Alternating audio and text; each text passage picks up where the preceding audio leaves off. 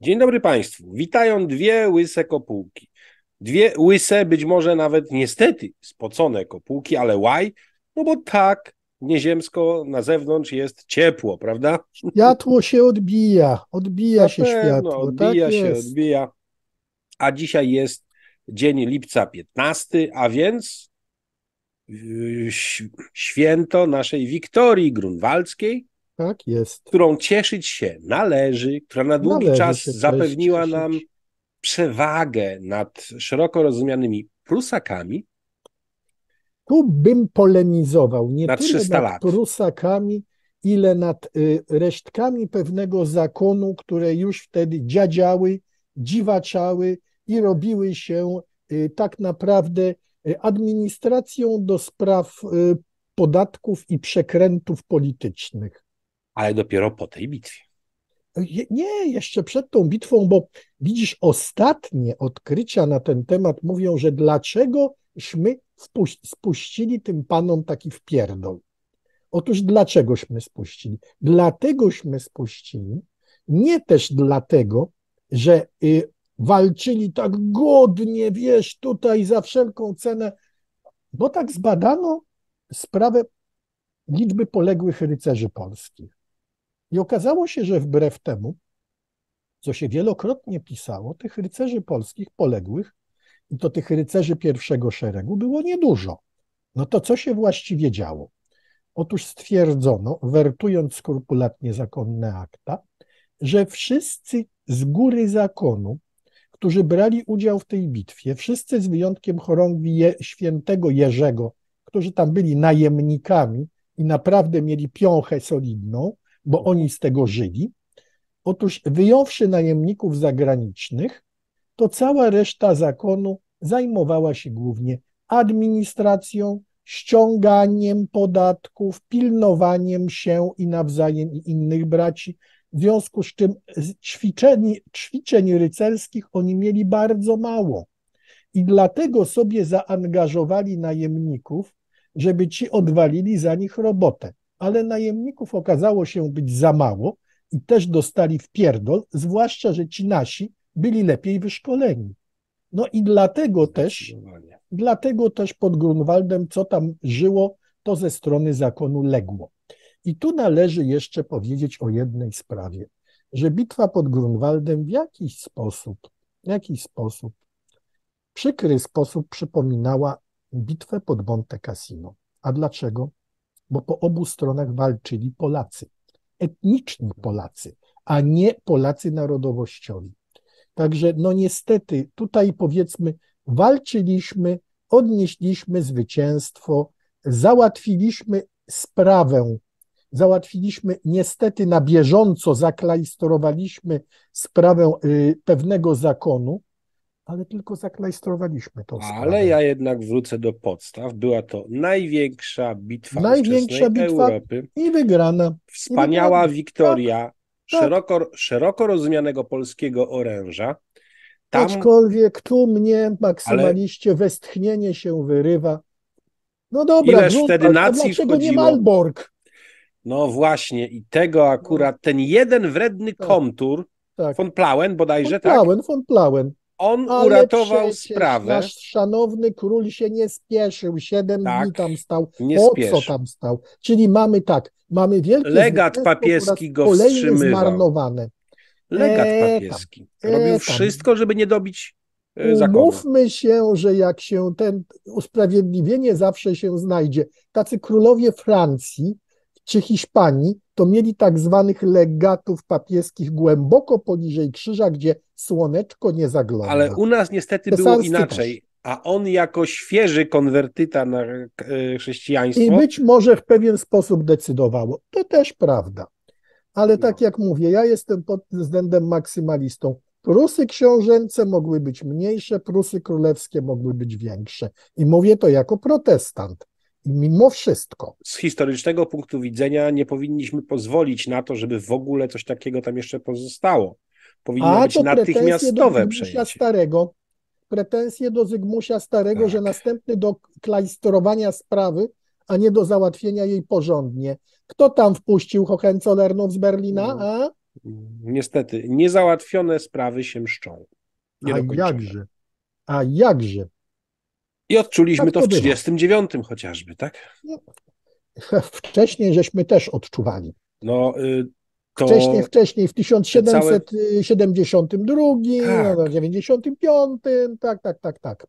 Też żeśmy to odczuli. Mhm. Ale Bardzo później boleśnie. jeszcze, kiedy Polska się hmm, restytuowała mhm. po 18 roku, no niestety tamtejsze plebiscyty w odróżnieniu od tych na Śląsku, niestety były przez Polskę przegrane, bo zamieszkujący tam etniczni kurpiowie, mieszkańcy Warmii, Mazur, generalnie rzecz biorąc Polacy, dla niektórych Polanie, ale liczmy Polacy, przez tyle czasu już byli tam indoktrynowani, że oni naprawdę nie czuli nie się we właściwą stronę. Proste. Ale jeszcze jedna rzecz, kompletnie no, zaniedbano, zaniedbano, kompletnie zaniedbano no, tam kampanię, prowadzenie kampanii uświadamiającej i była możliwość uzyskania tam y, znacznych ziem, no ale... Była, była, była była, Zrobi, ale... To zdaje się, że Endecja niestety spaprała Endecja tę sprawę. spaprała sprawę, tak, ponieważ y, tam były spory o to, o etniczność. Jak zwykle, jak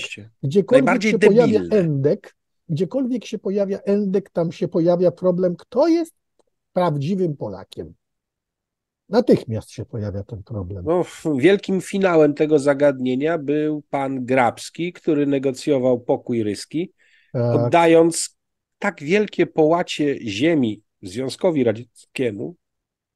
Dodajmy, że, że Związek był bardzo zdziwiony, bo on tych ziem nie chciał. Dokładnie, przez co w 1939 mieli bliżej, szybciej, łatwiej, żeby nam wbić nóż w plecy. Mhm. I Grabski był endekiem no. zaprzysięgłym do bólu. Tam była mhm. niezła chyba walka o to, żeby on był w składzie tej delegacji. Tak. Piłsudski uległ tak. Dmowskiemu ale bądźmy w szczerzy. jedności narodowej, po czym w 22 się mu tak odwdzięczyła Endecja, że zrobiła z niego zdrajcę. Mm. To jest raz, a dwa, Ta. y, ja nie wiem, czy ten Grabski y, to przypadkiem jednak nie był ktoś, kto brał pieniądze z drugiej ręki, wtedy być może właśnie jeszcze prusko-niemieckiej, żeby po, popieprzyć polskie sprawy na wschodzie. No były takie historie, tylko że widzisz, tego nikt, nigdy nie, nie udowodniono, nie, nie zbadano. No ba, wiesz, wszystkie, wszystkie powiem tak, prawdopodobnie jeżeli cokolwiek było, to już dawno się spaliło i zaginęło. W każdym razie pamiętajmy o tej jednej rzeczy, że y, Wielkie Księstwo Poznańskie dołączyło do reszty restytuującej się Rzeczpospolitej dopiero po groźbie ataku ze strony Freikorpsów i odbudowującej się Reichswehry. Tego powiem Jak ci szczerze... Piłsudski im powiedział je, jeszcze jedno słowo, a zostawię was samych. I tak to wyglądało, czyli jak zwykle, wiesz, wojny pol polsko-polskie najwięcej strat przyniosły. Niestety. No, A w tej chwili wróćmy... absolutnie nie mamy lepiej, tak. więc to lepiej zostawmy. Tak, tak, tak. Skupmy się na wojnie lepiej, tych, tak, na, na tak, wojnie tych, tak. którzy są dla nas... mamy Wielkopolskę, tak, znowu mamy nawet nie endecję, ale mamy harcerkę oczyszczającą naród, tak? No dobra, odpuśćmy Mówisz sobie. o front, Narodowym Froncie Oczyszczenia? Oczyszczania, tak, oczyszczania, tak jest. Ja nie wiedziałem, że oni idą w, w branżę komunalną.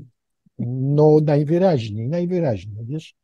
Ja myślę, że przydałoby się tak im, wiesz, dla porządku rozdać te pomarańczowe kamizelki i niech oczyszczają, no w sumie, prawda?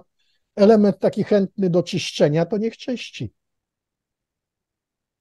Tak, i tym optymistycznym akcentem przechodzimy ku bardziej. Tak, kończymy dygresję. Wyma... ale... Wym... Tak, kończymy dygresję. Chciałbym ale... jedną rzecz niedyskretną o... spytać. Lubisz BDSM? Nie wiem, nigdy nie byłem ofiarą zagadnienia. A widzisz, a generałowie rosyjscy lubią, bo specjalnie, żeby im umilić, tak jest, i do, są dowody, specjalnie im się sprowadza z burdeli w Moskwie i w Pitrze panienki różnych obyczajów. I Ale to tylko generałom, czy to poszło? Tak, tak, w sztabach, w sztabach, w sztabach, w sztabach, na froncie. Ciekawe. Mam nadzieję, że sprowadza się również do miny, bo taki Gierasimow lany po gołej dupie bacikiem, to te, ten obrazek chciałbym kiedyś zobaczyć przez panią w lateksie, przez panią w lateksie lany. I, ta pani jeszcze przy okazji może mieć inne lateksowe rzeczy. Czemu nie? Na sobie. Czemu nie? Na sobie. Czemu Ja powiem nie? tylko tyle. Filmy i różne książki uczą nas, że ci najbardziej autorytarni, apodyktyczni, niejednokrotnie socjopaci Albo i w psycho. swojej pracy właśnie w tym życiu prywatnym potrafili iść całkowicie w drugą stronę, na zasadzie nie wiem, czy to pokuty, czy nabrania większej ochoty na tą, kurde, despocję Tak, tak, w tak. życiu tak. zawodowym. Powiem ci, wcale by mnie to nie zdziwiło, gdyby tak z nimi było. A do, dla oficerów młodszych są sprowadzane po prostu kurewki. No, do zwykłych żołnierzy podobno jeszcze nie doszło, bo nie starcza, bo nie starcza dostatecznej liczby panienek. Ale podobno próby trwają w Znaczy- ramach odpoczynku. Wiesz, by obiło się co nieco w różnych miejscach, Koledzy z że- zachodu to przynieśli. Z tak, zachodu. ale wiesz, że zrozpaczone śmiercią swoich chłopaków, mocno w tej chwili przez państwo niedoinwestowane kobiety rosyjskie zaczynają się odnajdować w tej branży, te świeże wdowy. Tak, tak. Podobno te pisali, zwłaszcza, zwłaszcza z tej głubinki, gdzie nie, nie było. Ale słuchaj, wiesz, bo tu jeszcze jest jedna ciekawa rzecz. Pamiętasz, jak rozmawialiśmy y, o tym, y, co się stało na granicy wietnamsko-chińskiej po zelżeniu, y, po y, powrocie do lepszych stosunków? Czy na pewno ze mną o tym rozmawiałeś? Tak, z tobą, z tobą. Rozmawialiśmy a propos Chińczyków. Pamiętasz, y, było to spotkanie jeszcze, pierwsze spotkanie, na którym ja byłem z chłopakami. Live, A, no. na live. Na live i na live powiedziałem właśnie o tym i powiedziałem o tym, że zaczął się wtedy z powrotem proceder przemytu młodych Wietnamek na żony dla bogatych Chińczyków. Tak. Otóż to samo zaczęło się na zachodniej Syberii, gdzie Rosjanki przekraczają granicę i albo jako profesjonalistki, albo też znajdują sobie chińskich chłopaków, że tak powiem, i drugich mężów z klasy, z chińskiej klasy średniej. I do tego stopnia jest to zjawisko już powszechne, że zauważył to jeden z chińskich portali lokalnych i napisał o tym.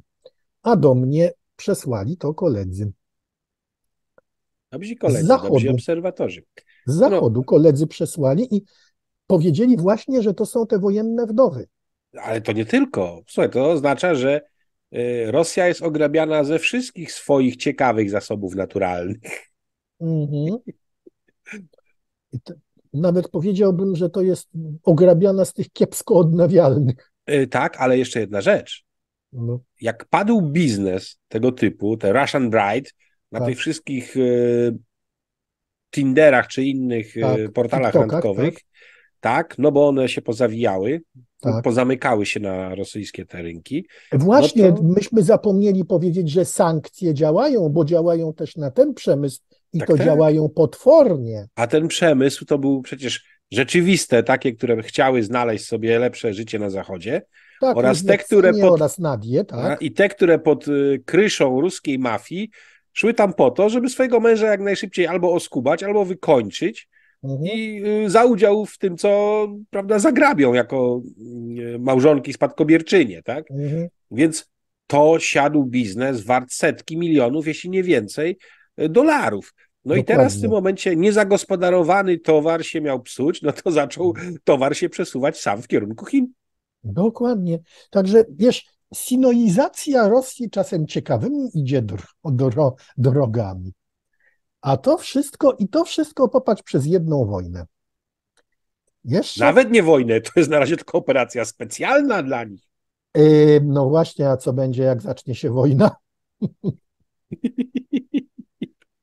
Co tu dużo mówić. Natomiast ciekawe historie, wiesz, mamy tutaj, Ty, ale chodzi- właśnie mi się skojarzyło i tak prawie, że padłem, bo No. y, rosyjski y, przemysł motoryzacyjny w tej chwili no, przeżywa regres, prawda? To, co Chińczycy tam przywiozą, żeby zmontować, to jest jako tako, ale niektóre rzeczy są wiecznie żywe i wiecznie, kurde, no, działające. No więc okazało się, że ostatnio popełnili elektryfikację w pełni y, rosyjskiej buchanki.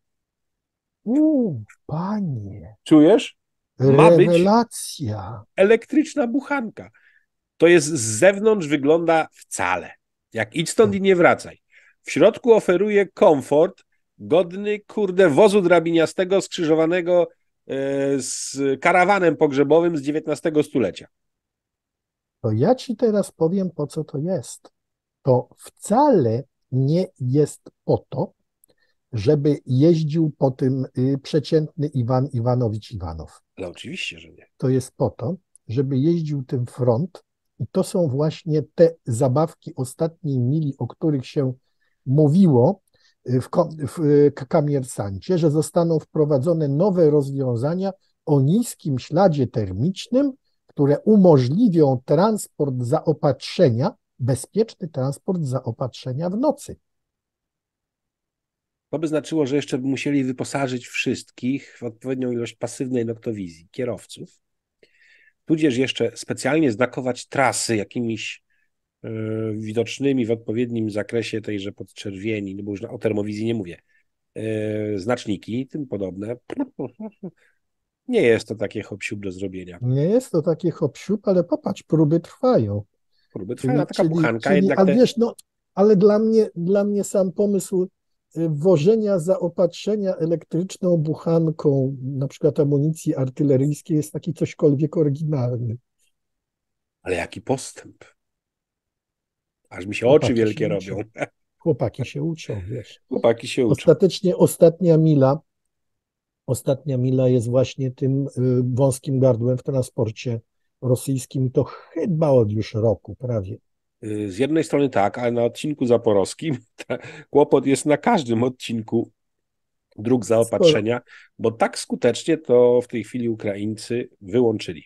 Obrabia ukraińska artyleria. Właśnie jak przejdziemy, jak przejdziemy do, y, do sytuacji na froncie, no to powiem tak w tej chwili mamy praktycznie rzecz biorąc już nie to, co widzieliśmy, klarowny obraz takiego posuwania się powolnego, wgryzania Ukraińców w rosyjskie linie obronne, tylko mamy obraz przekładańca i walki jeden na jeden. Ale w niektórych miejscach tak. Z przewagą, z przewagą Ukraińców.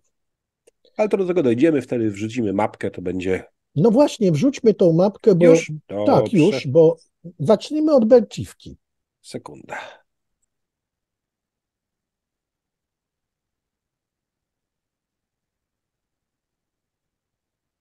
Berciwka.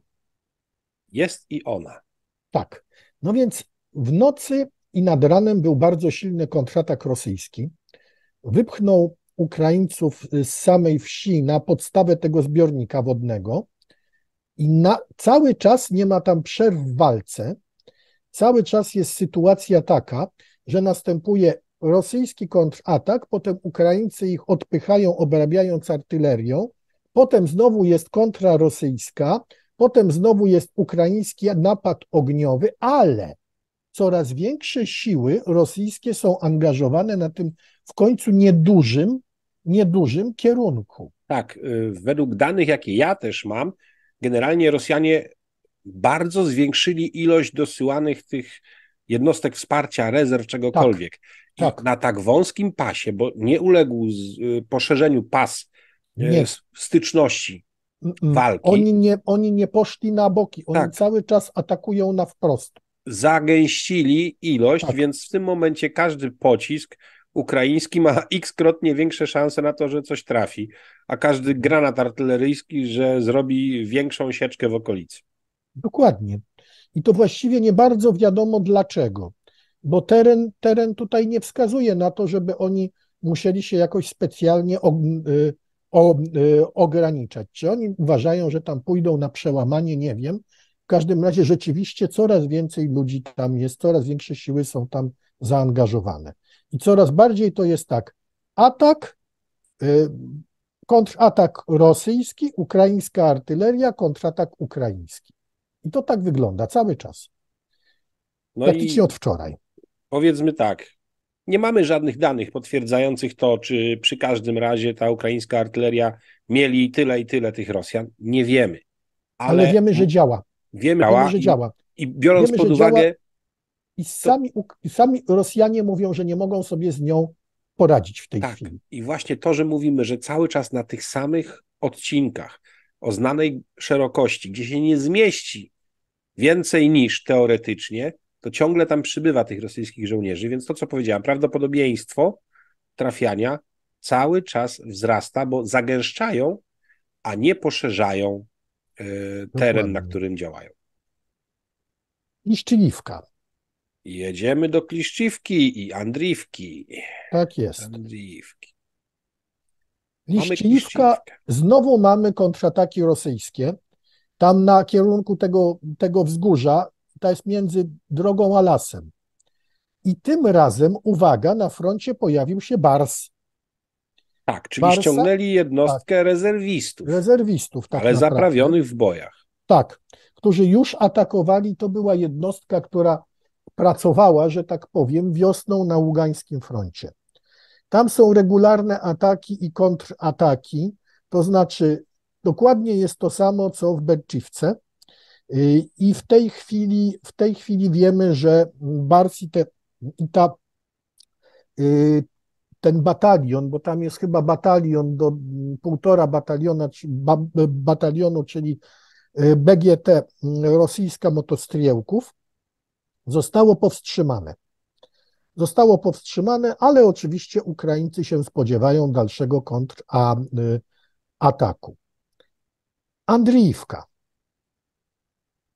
Tu się mm, może jeszcze to nie oddaje, to co Artur tutaj zaznaczył na mapie, bo gdzieś na kierunku Andriiwki uzyskali, według danych, jakie mamy, większe powodzenie tak, Ukraińcy. Tak, wyrównali front. I prawdopodobnie ten, ten zrąb tutaj może być już ścięty. Tak, ten rosyjski outpost został zajęty, jeden y, obsadzony, został jeszcze drugi na, y, na południu. Dalej Ukraińcy idą w kierunku linii kolejowej. Jak oni się na tej linii rozsiądą, to oni całkowicie przerwą y, zaopatrzenie, znaczy częściowo, w dużej mierze przerwą zaopatrzenie frontu na południu tych jednostek tutaj poniżej. Chodzi o tą linię, która biegnie z północy, z Bachmutu. Mhm. Ona jest, ona jest ostrzeliwana regularnie przez Ukraińców, bo to blisko, ale mhm. Rosjanie cały czas wysyłali tam, wysyłali tam transporty, wysyłali je nocą, starali się wy, wysyłać elektryką po to, żeby tam nie, nie, nie, nie było widać. Część z tych tra, transportów się przerywała, część nie. Częściowo tą linię zniszczyli, tam jeszcze zaopatrzenie szło w różny dziwny sposób, nawet jak się dowiadywałem od kolegów z Ukrainy, nawet drezynami ręcznymi, naprawiali te tory i drezynami to puszczali, żeby Ukraińcy się nie zorientowali. Także tam się działy cudawianki, ale jak oni przetną tą linię, to to już będzie. Mm, to ale generalnie dla, wychodzi jedna rzecz. Dla Rosjan koniec. E, mają Rosjanie taki kłopot z ciężarówkami, mhm. że realizują, nawet jeśli to jest pod ostrzałem, a są tory, bo mają tyle tych wagonów różnego rodzaju, których mogą użyć, że używają kolei nawet bardzo blisko frontu. Tak. W coraz, coraz większym stopniu, no zwrócili na to uwagę też Brytyjczycy, oznacza to poziom słabości logistyki samochodowej, raczej zaopatrzenia realizowanego z, z wykorzystaniem prawda, transportu samochodowego przez Rosjan. No Więc właśnie. I druga, drugi wniosek z tego. Y, obserwować granicę chińsko-rosyjską, czy zaczynają masowo trafiać samochody ciężarowo-terenowe chińskie na, do Rosji. Na, na razie wiemy, że masowo trafiają opony. Z jakością tych opon jest różnie. różnie. Wiemy, że wiemy od samych Rosjan, że oni klną na y, opony chińskie, ponieważ twierdzą, że niektóre nowe nawet już po 200 kilometrach zdzierają się albo przebijają. Być może część z tych opon to po prostu Chińczycy sprzedali po bieżnikowaniu. Także to mi się wcale nie zdziwił. Trochę znając branżę, powiem w ten sposób. Dobrze zwulkanizowana i bieżnikowana opona nie ma żadnej różnicy, jeżeli to jest pierwszy raz użyty po, po nowości karkas. Natomiast mhm. jeśli karkas już był byle jaki, albo w ogóle był z byle jakiej opony kiepskiej i ponownie nadlana ta opona i zrobiona, no to tutaj już może być gorzej, a jeśli to robiono szybko, to rzeczywiście może dojść do zjawiska poślizgu, bo nie doszło do właściwego wtopienia mieszanki i zwulkanizowania z karkasem. A karkas, kto nie wie, to jest rdzeń wykonany z odpowiednich e, tkanin oraz drutu zbrojeniowego, właściwego, specjalnego, do opon. I na takim rdzeniu, jeżeli się go odzyska, bo najpierw się robi pierwotny rdzeń, wyplata, zabezpiecza na przykład kewlarowymi tkaninami i tak dalej, żeby nie dochodziło do przebić, i nadlewa się na to yy, gumę, tworząc mhm. prawdziwą oponę, a następnie, jeżeli opona trafia do recyklingu, jest Y, obierana z nadmiaru całej gumy, ale to nie dotyczy boków, tak jakby ścianki bocznej opony, tylko przede wszystkim czoła. Jest obierana i przygotowywany goły y, karkas, na który się y, nadlewa i wulkanizuje. Bardzo popularna rzecz, na przykład w polskim górnictwie miedziowym, że się wulkanizuje opony, bo to jest dużo tańsze niż wymienia co chwilę opony, która potrafi kosztować 5000 euro za sztukę, tak? No to prawda. I, I, to ma sens. W ciężkich maszynach budowlanych jak najbardziej to jest popularne, że się tego typu rzeczy robi. No Dokładnie. ale przy masowym użyciu samochodów e, w armii rosyjskiej okazuje się, że bardzo chrzczone i oszukiwane te rzeczy są. Tym bardziej, że tam wiesz, dużą rolę y, odgrywa tak zwany czynnik CCC. Cena czyni cuda i jest Dokładnie. czynnik X jeszcze w tym wszystkim. Tak czynnik X, czyli e, bez wodki nie rozbierasz. Nie rozbierasz. Mhm. Robotynę. Robotynę. Przechodzimy. Jesteśmy. Ukraińcy atakują samą wieś. To jest 65., 47. Brygada, drony, Y, wieś została, tak powiem, otoczona z dwóch stron i jest atakowana. Tam jest 291 pułk y, strzelców, y, motostriełków rosyjski, no i specnaz. Zdaje się, że 45. brygada. Coś takiego było. Tak, i z tego co wiem, to oni już się przerwali. Ukraińcy się przerwali od południa, także wygląda, że Robotyne jest całkowicie otoczone no i być może, być może będą próbowali po prostu nie tyle ataków na w końcu bardzo mocno umocnioną wieś, gdzie te ataki by kosztowały, ile okrążyć i zostawić wolną drogę dla obrońców, żeby oni się, żeby oni się przebili i po prostu z tej wsi wyszli, bo to będzie Ukraińców mniej kosztowało. No, wszystko zależy od tego, ile mają sił tam Ukraińcy i czy sobie mogą mhm. pozwolić na takie obejście i zaatakowanie Nowopokrowki, Nowoprokopiwki, Dokładnie. przepraszam, i czy mają siły, tak. które byłyby w stanie dalej izolować to robotynę, tak, żeby Podczas, nie było kiedy posuwać się i, tak, i tak, posuwać tak. się jeszcze dalej. Dokładnie. Kuzemiwka jest. No to dobrze, to jedziemy. To jedziemy. Tam są ataki rosyjskie małe grupy szturmowe niedużymi siłami i, tym, i tymi niedużymi siłami, tymi niedużymi grupami szturmowymi wielkości dwóch plutonów, one rzeczywiście robią problemy Ukraińcom, bo zajęli linię kolejową, doszli do lasu, próbują dojść do Stelmachiwki, Ukraińcy też grupami szturmowymi ich odpierają i tam jest sytuacja w tej chwili niewyjaśniona. Tak, na tym terenie rzeczywiście od dłuższego czasu Rosjanie byli bardziej aktywni, mhm. E, ale tutaj Ukraińcy opierają się też o to, jak przebiegają linie kolejowe. Tak, dokładnie. I mają tutaj dosyć dobrze przygotowaną obronę mimo wszystko, więc trochę się tylko cofnęli, ale w żadnym wypadku nie naruszono w żaden istotny sposób ich linii, e, ich linii e, obronnych. Kupiańsk. Kupiańsk jest tu. Ataki bardzo... rosyjskie powstrzymane. Tak, to jest ataki bardzo istotny cel bardzo dla. Bardzo silne, bardzo silne ataki rosyjskie atakowały łącznie siły wielkości pół brygady. I nie było, nie było żadnego przełamania frontu, nie ma żadnych postępów, ale ciągle Rosjanie gromadzą duże siły na tym kierunku. Między innymi zauważono tam właśnie jednostki z szóstej armii, oraz prawdopodobnie, prawdopodobnie przynajmniej batalion z pierwszej brygady Armii Gwardii. Znaczy Pierwszej, tak, znaczy pierwszej, pierwszej armii, armii pancernej gwardii. tak, gwardii. Więc wygląda na to, że ktoś bardzo mocno zagrał, y, dbając o to, żeby y, filmiki znalazły szczegóły w postaci 27. Brygady Motostrzelków ze składu pierwszej armii pancernej gwardii, Tak. kierując bardzo mocno uwagę, że rzekomo ta armia w odpowiednio dużej liczbie się tutaj znajduje. No ja w to nie wierzyłem, od razu poddawałem y, to pod wątpliwość ze względu na to, że to no, zbyt nachalnie rzucające się w oczy takie coś. Rosjanie też dbają o pewne rzeczy i nagle tak by chcieli zdradzić miejsce dyslokacji najważniejszego swojego związku mm, operacyjnego.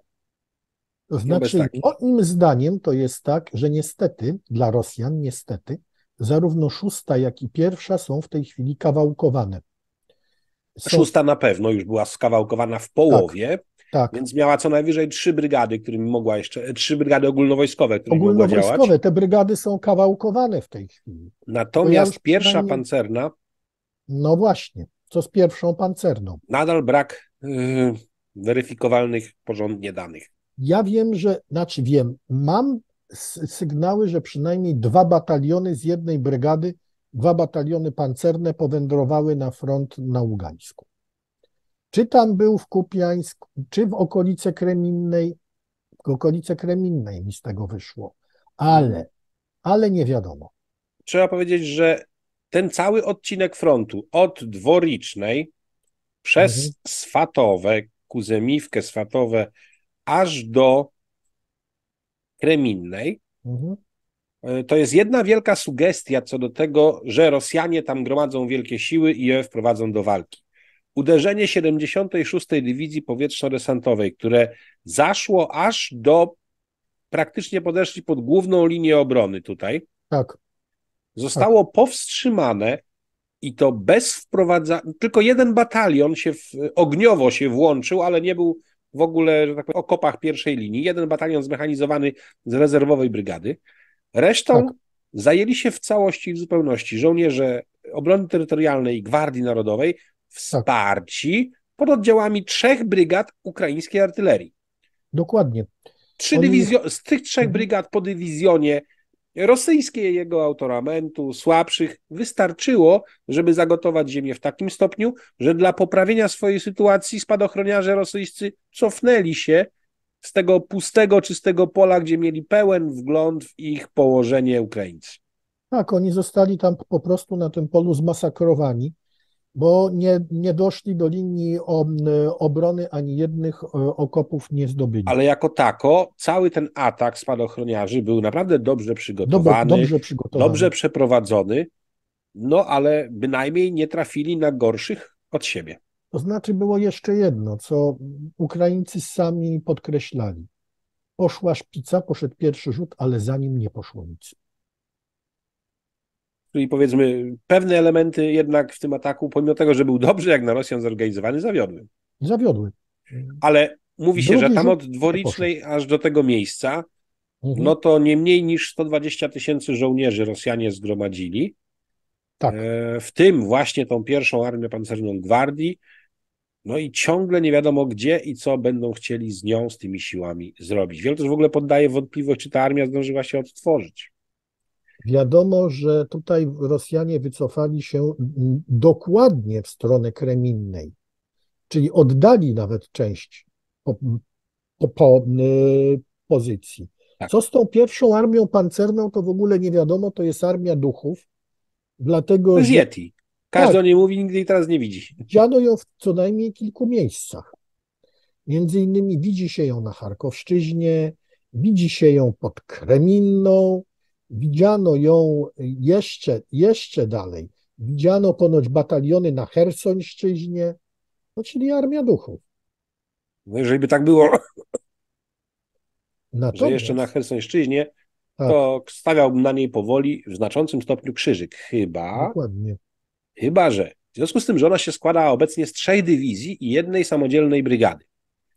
Masz To na myśli tą samodzielną brygadę? nie. Może być. Raczej myślę o tym, że mogli rozparcelować tą dodatkową dywizję zmechanizowaną.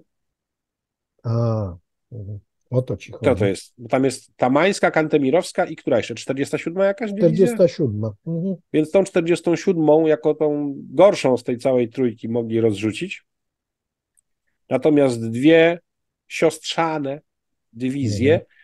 no byłbym bardzo zdziwiony, gdyby je rzeczywiście rozparcelowali.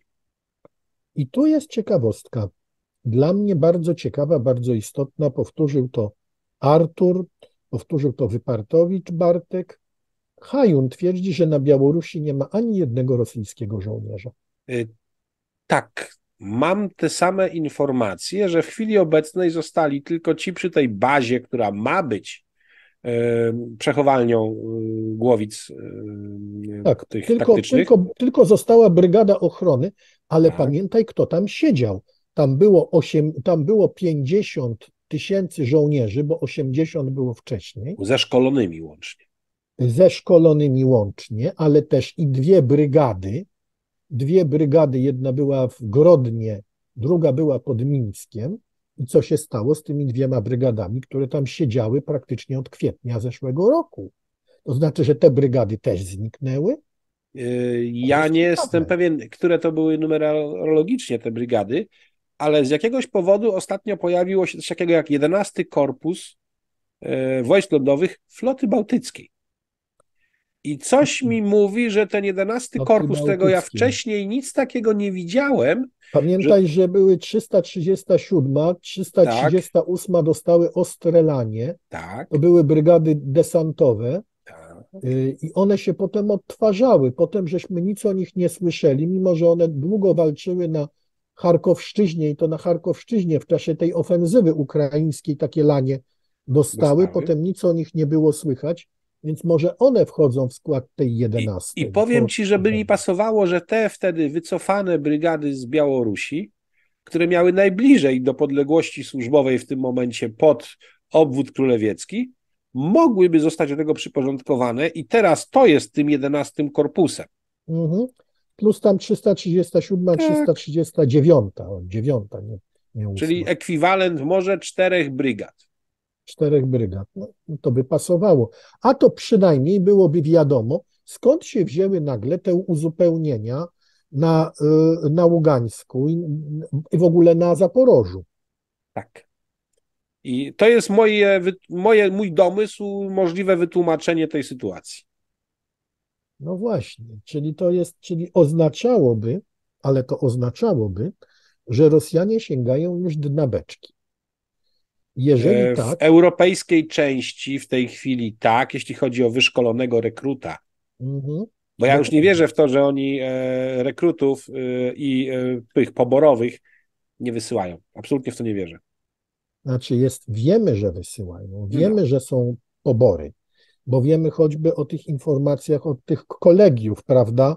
Bo w końcu ktoś musi tymi T62 jeździć, nie? Ale nie, to, to, są, to są mobiki, a pobór to jest ci młodzi, którzy jeszcze w wojsku nie byli.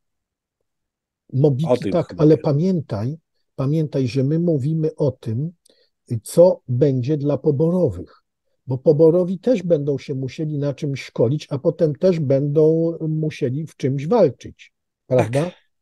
Czyli znaczy, że tutaj pobieranie ludzi na załogi czołgowe i załogi BWP świadczy o tym, że te BWP będą y, z kimś tam jeździć, a czołgi będą coś tam atakować, jeżeli nawet będą w stanie, nie?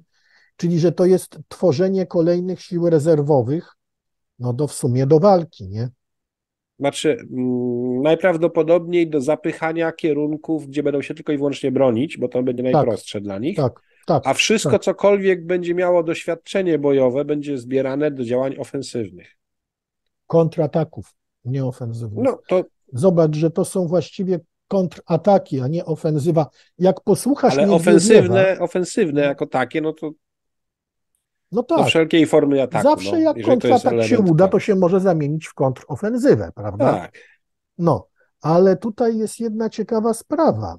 Jak posłuchasz Miedwiediewa, jak posłuchałbyś Miedwiediewa o, po, y, po Wilnie, który powiedział, że tutaj teraz głównym celem, między innymi głównym celem specoperacji będzie, y, będzie zmuszenie Ukrainy, by nie wstępowała do NATO, To jest bardzo ciekawe, bo popatrz, jak się te cele specoperacji zmieniają. To mamy się jeszcze. pojawiają w ogóle. Tak, mamy tutaj jeszcze taką informację, jakby spod spodu, że głównym celem w tej chwili Rosjan jest wytrzymanie naporu ukraińskiego i doczekanie do jesiennych deszczów. No, nie dziwi mnie tego typu strategia w ich wykonaniu w tym momencie, bo jednocześnie z każdym miesiącem liczba na przykład dobrze wyszkolonych na Białorusi by rosła, tylko że jak w tej chwili e, nie Zabrali ma tam nawet rekrutów, no Mhm. to nie mają tam kogo szkolić na Białorusi. Mało tego, w tej chwili, w tej chwili Wagner ma trenować Białorusinów. Tak, i y, dwa dni ostatnie. Tak. Ja dostałem informacje od ludzi, którzy w Białorusi mieszkają, że pojawili się na ulicy Wagnerowcy w Mińsku bez broni, Mhm. ale o, obłożeni wszystkimi możliwymi paczami identyfikacyjnymi, tak? Tak, Żeby nikt nie miał wątpliwości, że to oni. Ciekawe, nie?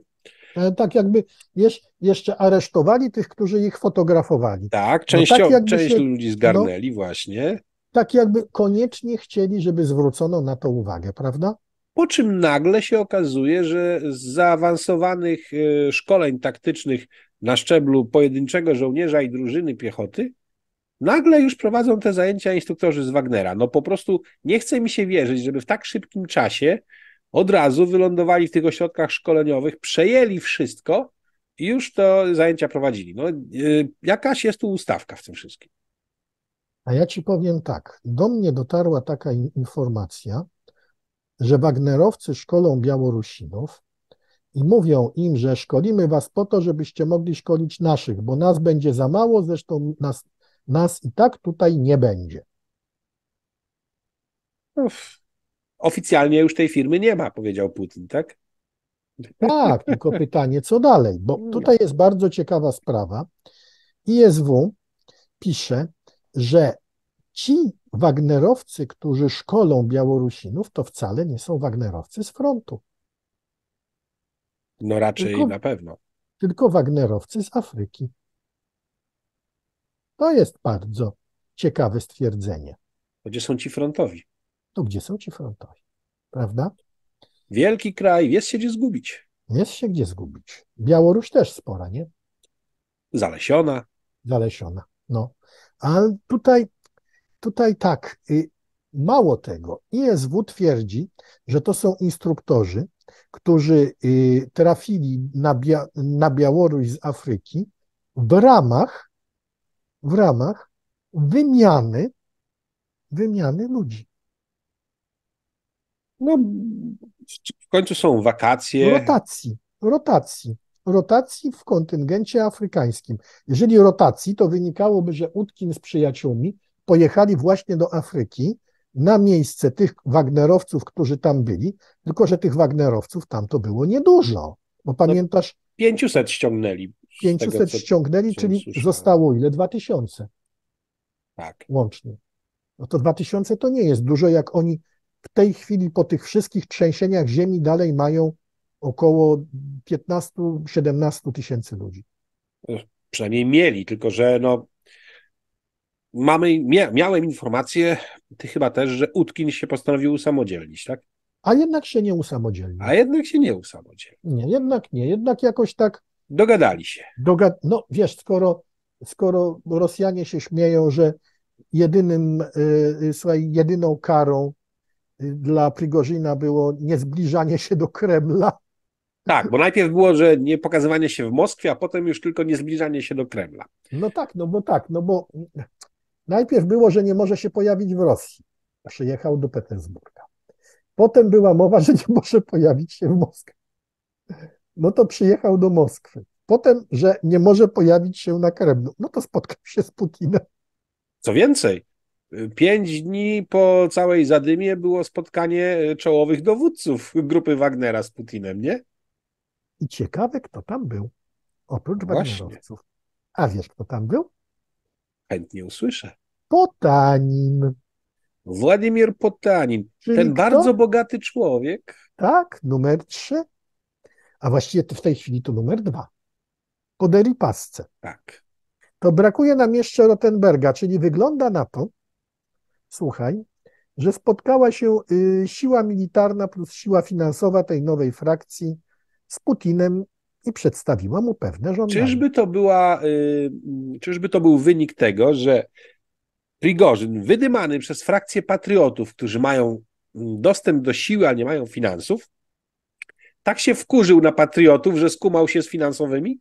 Tam od początku ta frakcja patriotów to moim zdaniem było dęte. Moim zdaniem to była frakcja, która się nazywała frakcją patriotów za pieniądze Potanina i to cały czas była gra Wagnerem i Prigozinem. On się na to zgodził po to, że, żeby po prostu Putin za bardzo nie urósł i przypadkiem jemu nie urządził jesieni średniowiecza. Z tej części ciała, gdzie kończy się szlachetna nazwa pleców. Dokładnie. Więc moim zdaniem od początku była to gra w ten sposób. A co do patriotów, to powiem ci, że frakcja prawdziwych patriotów Gierkina zaczęła się nagle skarżyć, że milicja ich, ich prześladuje. I sam Gierkin też.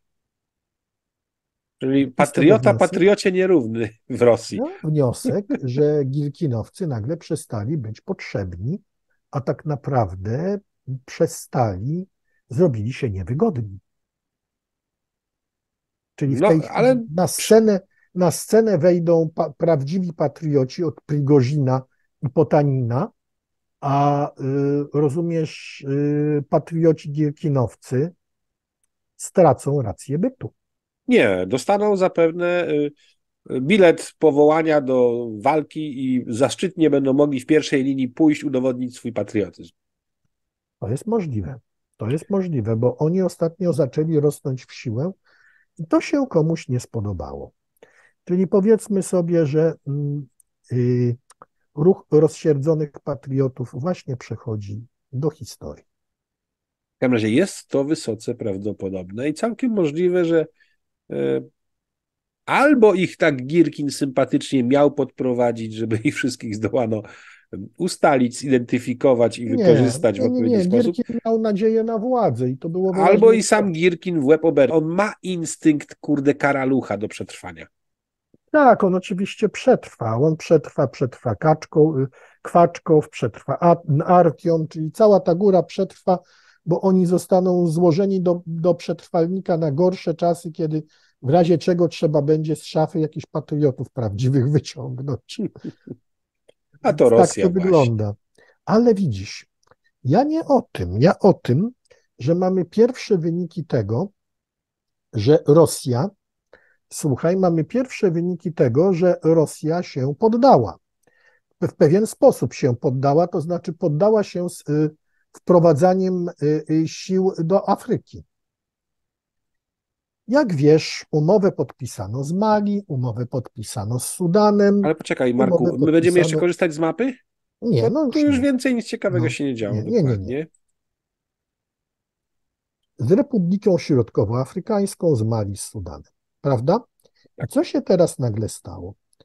Oficjalne ogłoszenie, że mm, reprezentanci armii sudańskiej powrócili do Dżedach w Arabii Saudyjskiej dla rozmów ze, swoją, ze swoimi wrogami z bojówek paramilitarnych. I po raz pierwszy od, czwar, od czterech y, miesięcy rywalizujący ze sobą generałowie siedli do rozmów. A kto jest patronem tych rozmów? Arabia Saudyjska, nie Rosja. Arabia Saudyjska. No... co to znaczy? To znaczy, że rząd nie mógł liczyć na wsparcie Rosjan. Tak, nie mógł liczyć na wsparcie Rosjan, to jest jedno. Dwa, y, Arabia Saudyjska ostatnio mogła chcieć trochę utrzeć nosa Rosjanom za mhm. te oszustwa te związane z ropą. Tak. Mhm. tak. Są na nich tak. wkurzeni, ale z niektórych powodów no jawnie przeciwko nim nie wyskoczą, bo to by była woda na młyn amerykański oczywiście też, nie? Ale zrobić małe świństwo, takie po arabsku, to tak. akurat. Tak. I tutaj bardzo ciekawa historia. Turecka agencja prasowa. Turecka agencja prasowa ogłosiła, że y, zmniejsza się drastycznie ilość baz rosyjskich w Syrii, natomiast rośnie ilość baz irańskich. No jakżeż mnie to nie zaskakuje. Dodajmy do tego, może nie wszyscy zwrócili uwagę, ale pojawił się jakiś dokument rosyjski w przestrzeni dyplomatycznej, który spowodował taką wysypkę w Teheranie, że aż wezwali e, rosyjskiego ambasadora do Chodzi o wyspy na, na Cieśninie, które Dokładnie. należały swego czasu do Zea, potem przejął je Iran. Rosja wraz z układem stwierdziła, że, narusza, że granice Iranu są nienaruszalne, z tym, z tym, że z tym układem, który zabezpieczał Rosji dostawy szachidów, pocisków artyleryjskich, wszelkiej innej broni. A teraz spotkali się z ZEA i stwierdzili, że y, y, problemy terytorialne wymagają ustalenia. To spowodowało u ajatollahów atak wściekłości i zdecydowane, zdecydowane ochłodzenie, ponieważ świadczyłoby to, że y, Rosja zaczyna wycofywać się z poparcia dla Iranu, czyli konkursowo sobie strzela w stopę. Jest to generalnie, bym powiedział, tak głupie, to co się dzieje w tym momencie, kiedy oni tak bardzo potrzebują różnych produktów chińs, y, tego irańskiej zbrojeniówki, że aż mi się to w głowie nie mieści. Taki mi się mieści to w głowie. A wiesz co? Właśnie ten twój, to twoje freudowskie przejęzyczenie chińskiej. W tej chwili y, Chiny i Iran, no wręcz Chiny stają się protektorem Iranu. I żeby było jeszcze śmieszniej, to one właśnie doprowadziły do zbliżenia z Arabią Saudyjską. Wiemy. No właśnie.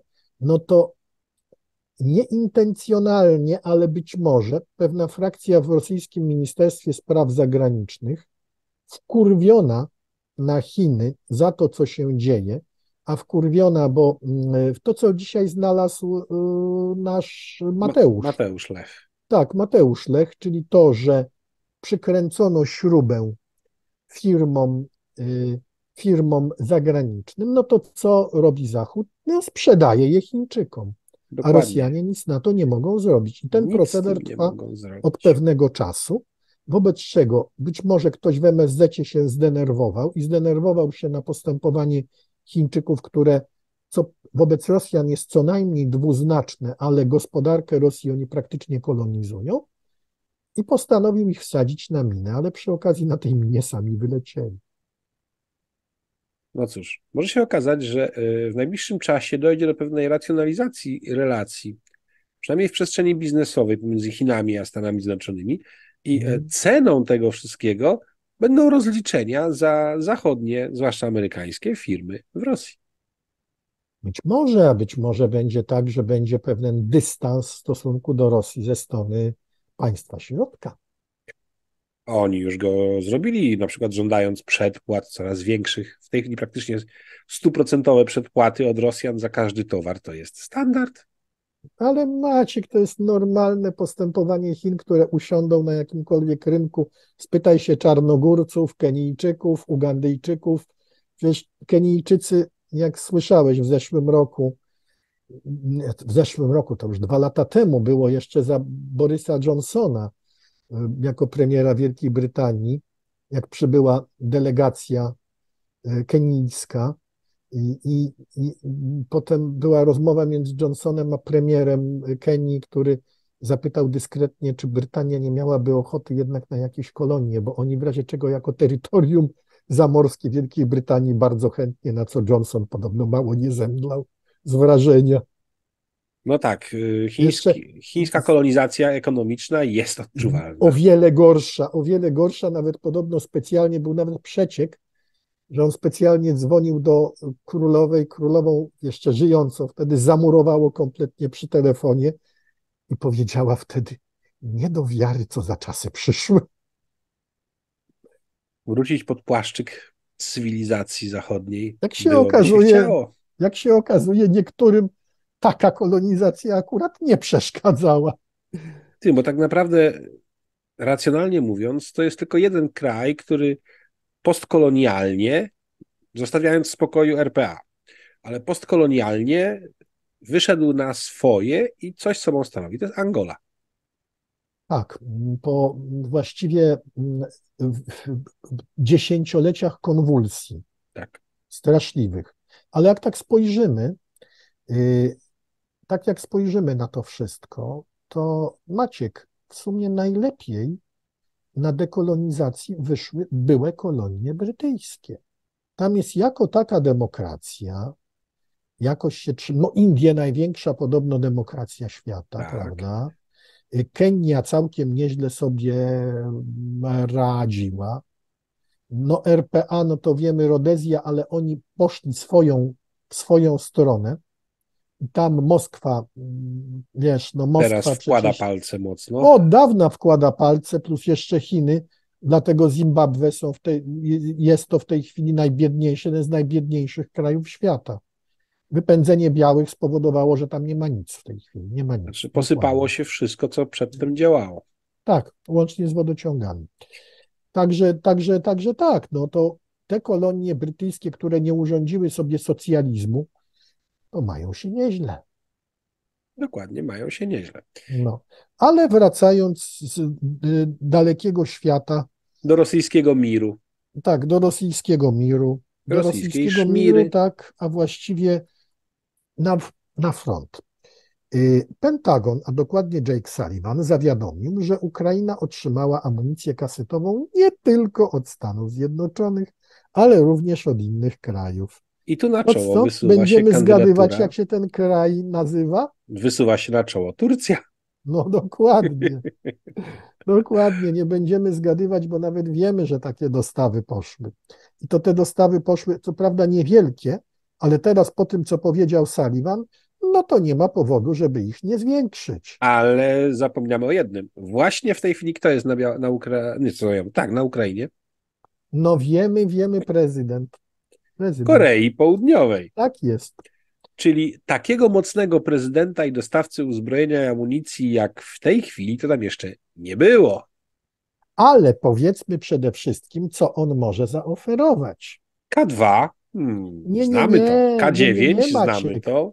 Nie Maciek. Rakiety niekierowane 122, amunicję 155 i 152. S- Że oni robią robią. 152, to nie byłem tego taki pewien, ale 55 oczywiście tak. 122 tak robili, no i Mhm. generalnie mogą też dostarczać K239 swoje. Mogą dostarczyć K239. Co Nawet ciekawsze, nie muszą Maćku dostarczać ich bezpośrednio. oczywiście mogą przez nas. Pojawiło Mhm. się jeszcze hasło, coś w temacie południowo-koreańskiej opelotki. Tak, oni mają bardzo dobrą Znaczy- pelotkę mobilną, lufową. Tak, mówisz o zestawach Biho, ale nie Biho. tylko. Mhm. Do tego jeszcze dochodzi to, że oni od jakiegoś czasu sami robili swoje y, rakiety na pułapach bliskiego zasięgu i chyba do Tak. średniego zasięgu Z włącznie. Chorad i z Chorad, tak. Mhm. Więc w tym momencie ten towar nie był nigdzie eksportowany. Nie. Jeśli by on trafił na Ukrainę i się sprawdził, o, kolejne źródło dla świata, dla tego typu sprzętu. Ja Mhm. myślę, że mogą tej okazji Koreańczycy nie przepuścić. Też mi się tak wydaje, bo wyraźnie widać, że po tym, kto mu towarzyszy, to widać, że jest to wizyta intencjonalna w związku z bronią i w związku z amunicją.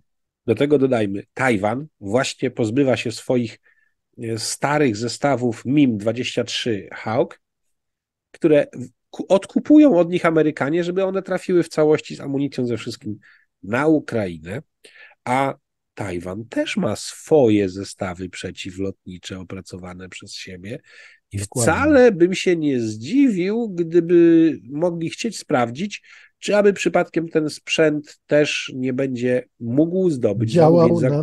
Tak, tak. nie Działał na zamówień przykład na, zagranicznych. tak, a przede wszystkim, czy on dobrze działa na y, uzbrojenie porosyjskie, to latające. Tak. No to byłby dla Tajwanu mega poligon w tym zakresie. Dokładnie. Czyli widzisz, wróciliśmy do tematu, że y, przestała być to wojna tania. Tak, to już nie jest tania wojna. To nie jest tania wojna. To już się zrobiła wojna, tak jak przewidywano, wojna dosyć zaawansowanego sprzętu i rozwiązań. W tej chwili inaczej się już nie da. Tak, na tym etapie, przy tej ilości zmielonego sprzętu, który tą wojnę zaczynał, A no właśnie, bo tu mamy taką ciekawą informację pochodzącą od wywiadu amerykańskiego, o której napisał Nyt, że y, taktyka, początkowa taktyka ukraińska za pierwszych kilka tygodni walk przyniosła straty rzędu 20% dostarczanego sprzętu. Ukraińcy uznali, że to jest za dużo i wobec tego zmienili taktykę. Zmienili taktykę na bardzo dużą, nasycenie bardzo dużą ilością środków rozpoznania. Najpierw urównanie wykrytych pozycji ogniowych i magazynów przy pomocy artylerii, uderzenia na dalekie magazyny przy pomocy broni typu Storm Shadow oraz na drogi zaopatrywania i logistykę, i dopiero potem idzie atak. I to jak najszybciej po takim właśnie zrównaniu z ziemią magazynów albo też stanowisk obronnych, żeby Rosjanie nie zdążyli się podnieść. I ta taktyka już przynosi owoce, ponieważ obecnie straty sprzętu nie przekraczają 10%. Więc e, tak jak mówiliśmy, Ukraińcy wyciągnęli wnioski z tej e, początkowej fazy ofensywy, zmienili sposób działania, zmienili model, dostosowali się i mają z tego tytułu o wiele lepsze uzyski niż Rosjanie. Tak.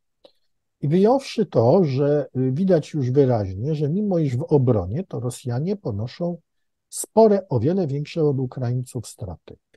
No Według danych amerykańskich na niektórych odcinkach jest do tego stopnia, że to jest 4 do 1 na korzyść Ukraińców.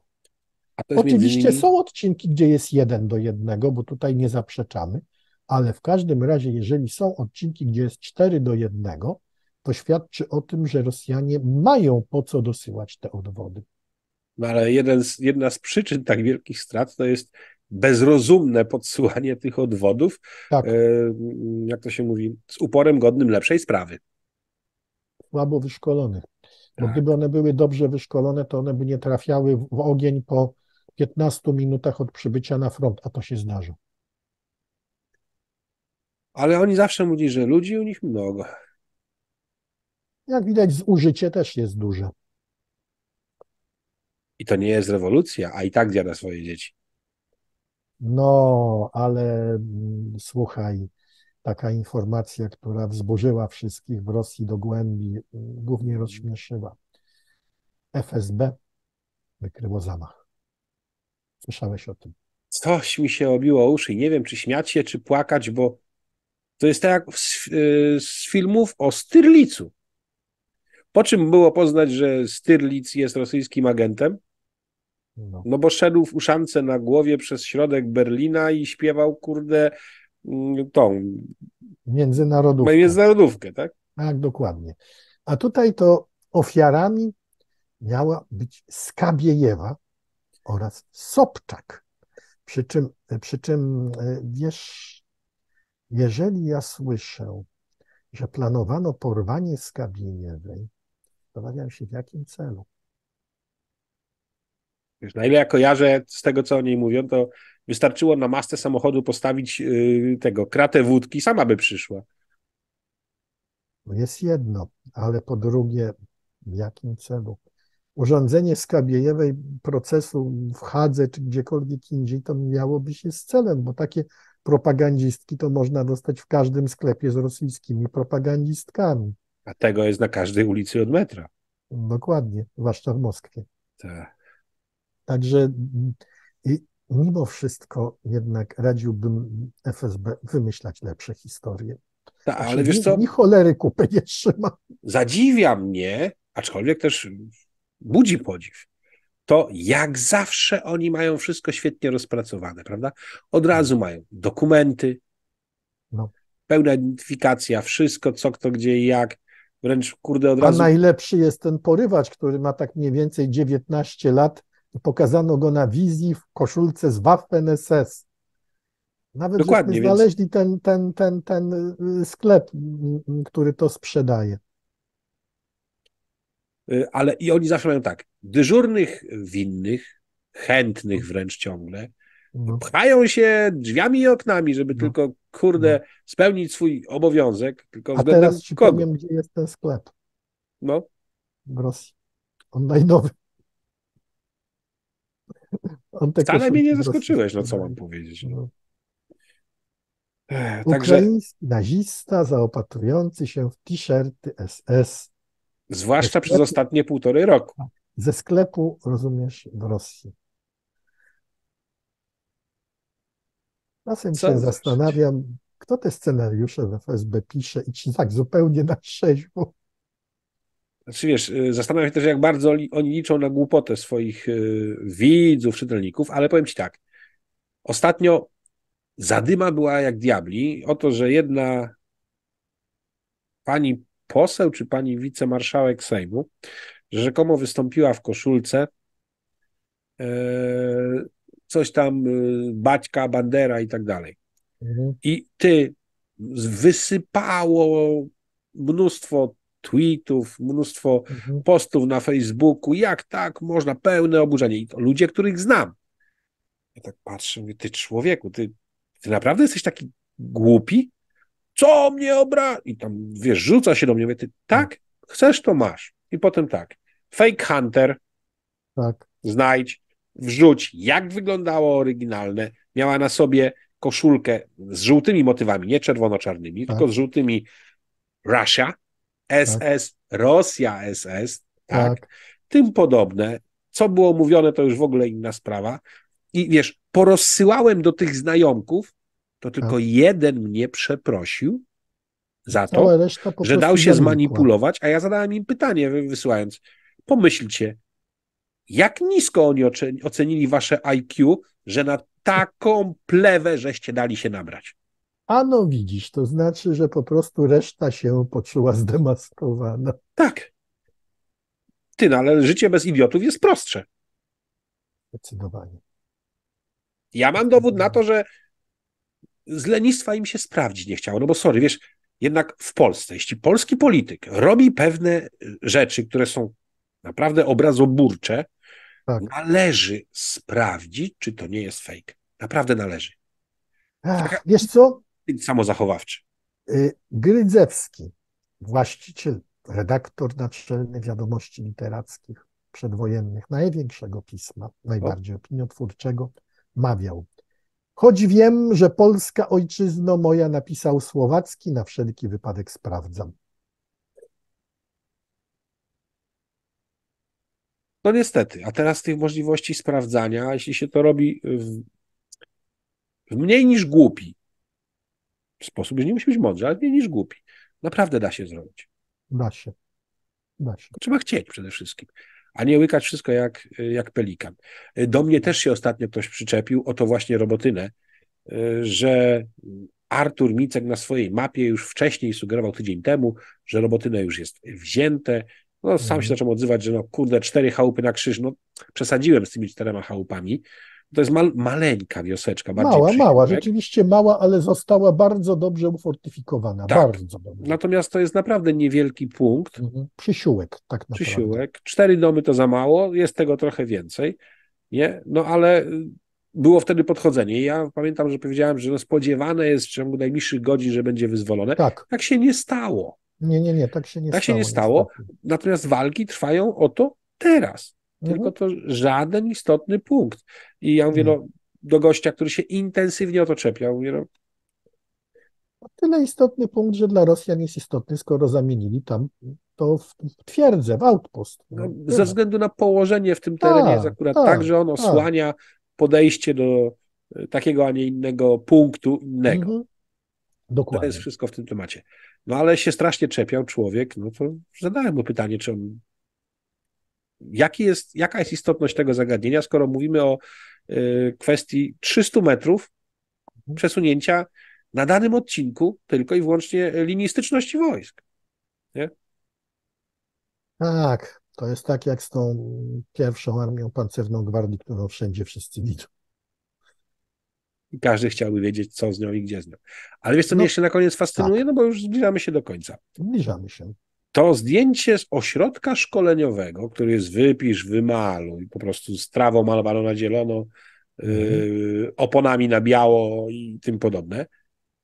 Te stojące tam kilkadziesiąt czołgów typu T-90, Tak. T-80 BWM, Tak. jakaś garstka 62 Tak. i to wszystko stoi w tym ośrodku szkoleniowym. To teraz takie pytanie. Bo to nie jest pierwsze zdjęcie, a sprawdzanie y, metadanych wykazało, że różnica w czasie między powstaniem tamtych pierwszych zdjęć, a tych to jest co najmniej 6 tygodni, więc one jak Tak. gdyby non-stop stoją. Tak. No to sorry wnetu, to brakuje im załóg do tego, żeby je e, były w stanie wykorzystać, nawet do szkolenia, bo tam nawet gąski nie były przybrudzone więcej niż, e, niż od momentu, jak się pojawiły. A wiesz, co ja jeszcze słyszałem? Jest jeszcze jeden problem. Nie tylko brakuje załóg, brakuje ciężkich wagonów do transportu. To też, ale pytanie, czy skoro to już tam trafiło, to czy to jest w takim stanie, że co, nie mogą tego dalej ruszyć, czy tak się boją, że jeżeli to jeszcze nie zostało na przykład poddane odbiorom, a się odpali i się Mm. pojedzie i się rozleci, No, może tak, a może dlatego, że nie ma na tyle wykwalifikowanych kierowców, bo naprawdę do rosyjskiej techniki to nie jest tak, że ona jest matciasti i to każdy i idiotoodporna. Naprawdę do rosyjskiej techniki potrzeba ludzi znających się na rzeczy. tak, no bo załóżmy pojęcie podwójnego wysprzęglania gdzie niegdzie. Tak, o, o, o, o, Kto z ludzi jeżdżących obecnie na automacie ma pojęcie, co to jest i o co w tym wszystkim chodzi? A To, to, czym, to, czym dowodziłem, miało właśnie dokładnie z tym problem. A, jeszcze pompy paliwowe w przypadku turbin rosyjskich. Też delikatność wysokiego rzędu, Tak, wiem coś o tym. więc nie ma lekko, nie ma lekko. Nie. A tak zawsze się cieszyli z tego, jak to oni zindustrializowali swój kraj. Nie, no przecież u nas krąży taka opinia, że ruski sprzęt to kurwa kowal robił, a spawacz naprawia. Nie, nie robaczki. Nie O nie, to jest sprzęt bardzo niejednokrotnie trudny w naprawie i wymagający fachowca. Fakt, to jest sprzęt toporny. Części do niego da się dorobić w warsztacie, ale nie wszystkie. Natomiast bieżąca eksploatacja wymaga bardzo pewnej i wprawnej ręki. Ja nie zapomnę, jak kiedyś też tym samym tropem na początku szli Czesi, produkując swoje wojskowe Tatry. Mhm. Nie pamiętam, który to był model, ale y, było takie coś. I raz w tygodniu to coś musiało stanąć nad kanałem i żebym nie skłamał, ale coś koło 140 punktów smarowniczych, kalamitki, trzeba było nawalić to wotem, bo inaczej słyszałem. rozkraczyłoby się w trakcie jazdy. Poza Plus tym był to świetny olej. pojazd. A Tak, poza tym był to świetny pojazd. pojazd, jeżeli Tak. tylko się tego pilnowało. Tak, pamiętam. Pamiętam, bo u nas na pułku była taka jedna i to mm, obchodzić się jak z jajkiem, mm, było powiedziane. Tak. Ale jeśli tego się trzymałeś, to mogłeś liczyć na to, że ona ci się odwzajemni Tak. swoją dzielnością w terenie. I przepalała strasznie olej. Przepalała olej, trzeba było sprawdzać, trzeba było sprawdzać, czy olej, jak to się y, mówiło, nie czernieje. Jak nie czerniał olej, jak zaczynał czernieć, trzeba było natychmiast spuścić, wlać nowy i tak jak mówisz, y, przede wszystkim, przede wszystkim smarowanie. I dawało wtedy radę. Ale Dawało. teraz tych, którzy o tym pamiętają, to już nie ma. Nie ma, nie ma, A dokładnie. podobno słyszałem, że Ziły 131, czy jakoś tak, czy 150, czy już seria 150, wracają do, do produkcji. To wracają czym- do produkcji, to wracają, ale one się na froncie pojawiły. Też. I Gruzawiki. to nowe. I to nowe. To są te takie najbardziej toporne gruzawiki z maską z przodu, z takim charakterystycznym garbem, który wszyscy znają ze zdjęć, prawda? Z alternatyw 4. No tak, serialu dokładnie. I co jest najciekawsze, co jest najciekawsze, świadczyłoby o tym, że przywrócono produkcję silników do tych monsterów, bo tam żaden inny silnik nie pasował, jak pamiętam. Tak. Pamiętasz, była mowa o tym, żeby go, był nawet prototyp, y, był nawet prototyp y, z silnikiem francuskim w 90 latach z przerobioną karoserią. Oni to zamierzali zwesternizować. Okazało się, że na jednym prototypie się skończyło. Tam sprawa zawieszenia była, tam się nie dało nic zrobić. Zawieszenie pod ten ruski silnik, wiesz, toporny grało, a natomiast tutaj to nie, nie bardzo.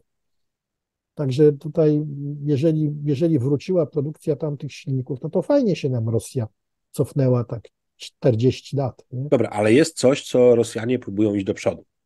I to jest modernizacja ich armatohaubic Tak, AHS, czyli Tak. e, MSTA-S, tak. aby miały większy zasięg ognia przede Mhm. wszystkim, no ale bez zwiększ- e, wymiany armaty. Na taką o dłuższej lufie, no niewiele się da z tym zrobić Mhm. przecież. Mhm. Ale generalnie jest próba modernizacji, Jest próba modernizacji. aby nadgonić. M to się nazywa Tak.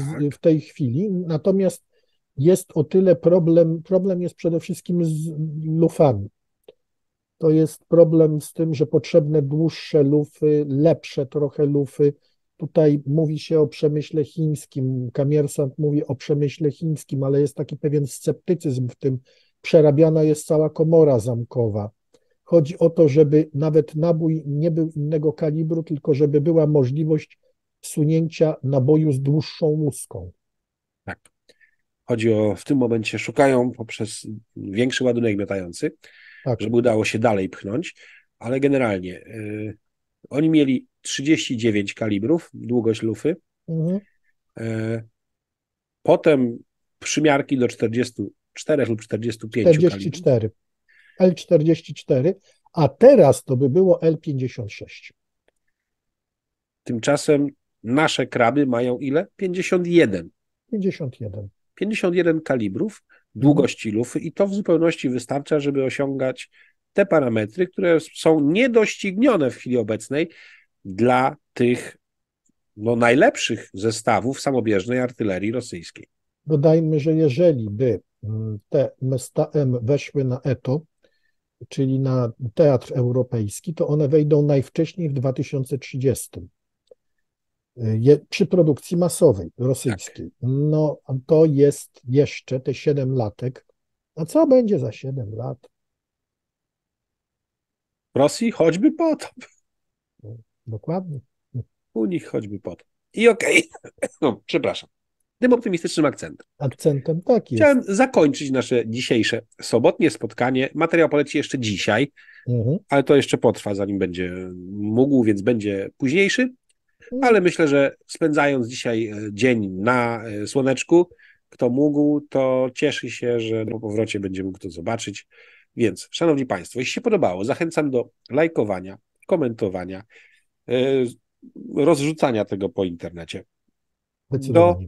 subskrybowania mojego kanału, do śledzenia mediów społecznościowych Marka Meissnera oraz jego twórczości na ISB News, dodawania rady z reklamami i do wspierania mojego kanału na YouTube oraz Patronite. Przypominam też o tym, że jeszcze można się załapać na nasze spotkanie najbliższą już, oprócz dzisiejszej sobotę, 22 w Warszawie w klubie Tak Hybrydy, jest.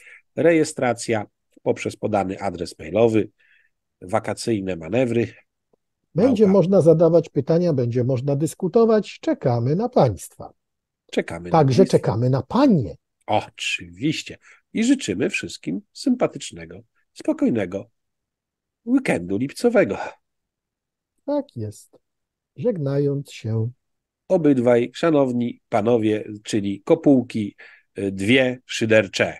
Marek Tak Meissner, I Maciek Lisowski. do usłyszenia, do Do zobaczenia. Wszędzie usłyszenia, do zobaczenia. Cześć. Cześć.